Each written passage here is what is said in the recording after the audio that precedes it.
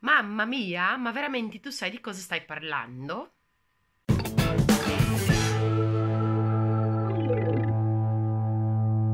Oi, pessoal, tudo bem?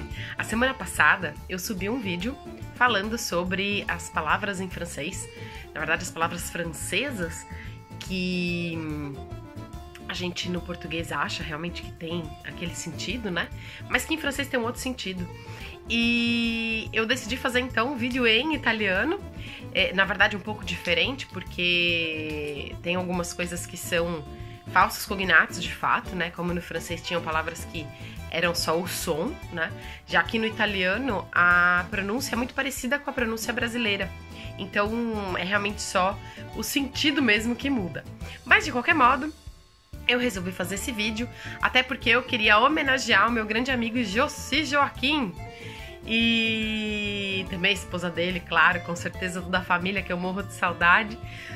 Mas essa homenagem ao Jossi é porque, de fato, eu acho que ele é uma das pessoas que mais usou e abusou desse recurso, que é usar uma palavra em uh, português. Bom, na verdade, uma palavra em italiano que ele achava que tinha um significado, mas tinha outro, ou então de usar um sotaque italiano para uma palavra em português, às vezes colar, às vezes não. Enfim, é isso. Então, Josi, cara, saudade, abraço para você e para toda a família, viu? E antes de começar um pouquinho a falar, eu quero saber se você já se inscreveu nesse canal. Se não, se inscreve aí, manda para todo mundo esse vídeo, clica no joinha e ah, clicar no sininho para receber os próximos vídeos, tá bom? E vamos lá! A primeira palavra, burro. Burro em italiano, aliás, burro em português, é um asno, né? Um animal e tudo tal. Uh, e em italiano, burro é manteiga. Uh, a propósito, uh, o burro, né, em português, é, no italiano é asino, tá bom? Uh, asilo, pois é, asilo que em português é um local para idosos. Em italiano, asilo é jardim da infância. Pois é, muito estranho até hoje. Quando eu ouço que uma mãe vai mandar a criança, o filho pro asilo, eu fico até confuso assim. Mas é verdade, é isso mesmo. Então as crianças a partir de 3 anos é, não vão pra escolinha, elas vão pro asilo. É, quando alguém fica doente e tá se recuperando, né? Você deseja para ela uma boa represa. Pois é, ripresa, ou seja, uma boa recuperação, tá? Você não fala para ela buona recuperazione, nem tem sentido, aliás, nem tem essa palavra em italiano, na verdade, é, mas fica aí a dica. É, quando você ouvir guardare, guardare não é botar nada em lugar nenhum. Por exemplo, ah, eu tô colocando minha roupa na, na gaveta, então estou guardare. Não, esquece isso. Guardare, em italiano, significa olhar.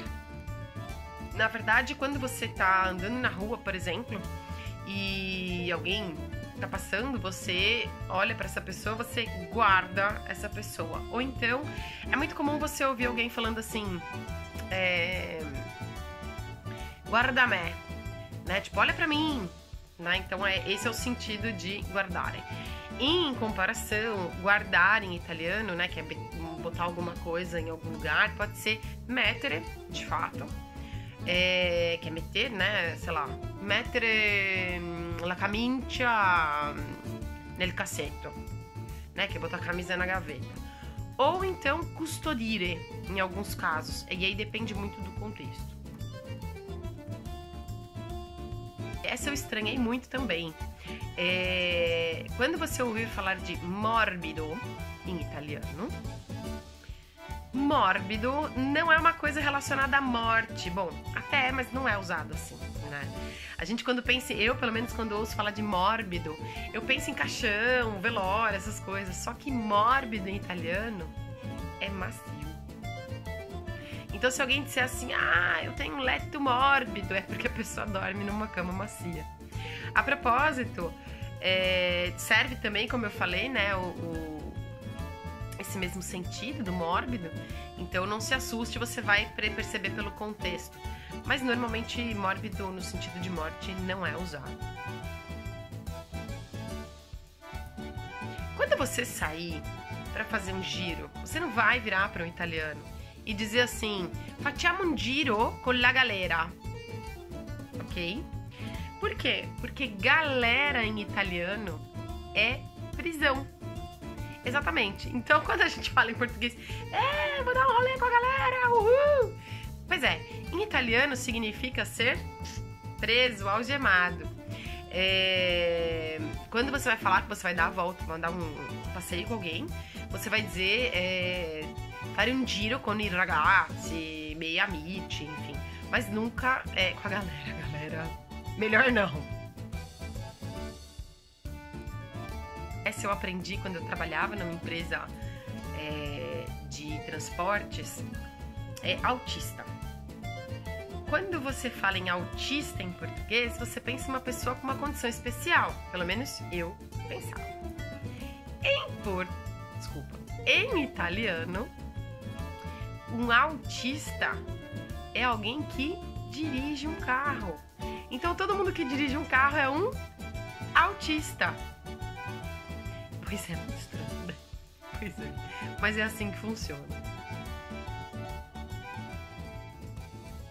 A propósito, é, quando você falar que você tem uma máquina, toma cuidado. Porque, por exemplo, eu tenho uma câmera, né? Uma fotocâmera é, que é uma câmera para fazer foto. E aí você fala máquina, porque a gente tem esse hábito, né? A máquina. Cara, máquina é carro em italiano. Então toma cuidado, porque pode fazer bastante confusão. É, aliás, máquina de lavar roupa é lavatrice. E máquina de lavar louça é lavastoviglia. E são muito comuns as duas, né? Então você também não vai falar máquina né? É, você chega na cozinha de alguém e fala, ah, tem uma máquina. É, não, não sei do que você tá falando, nem cabe uma máquina aqui. Uma coisa que é super comum no italiano é, é o seguinte: alguém vira para você e fala assim, grazie, ou você fala pra pessoa, grazie, obrigado. A pessoa te responde, prego. Cara, no início é, é tão estranho isso no início, porque você fica pensando, meu prego pessoa está falando. E a pessoa se prega em várias situações, né? Prego significa as ordens. Ou seja, se você pedir licença e a pessoa der licença, você vai agradecer, né? Tipo, pra, passar. Aí você vai falar obrigada, a pessoa vai te dizer prego, as ordens, fica à vontade. Se você fizer uma coisa bacana, né? A pessoa vai falar grazie. O que, que você vai responder? Prego, esteja à vontade, de nada tal. É difícil alguém falar de niente, pode acontecer, mas normalmente é prego mesmo. E a propósito, prego, aquela coisa que fura pneu, em italiano se chama chiodo.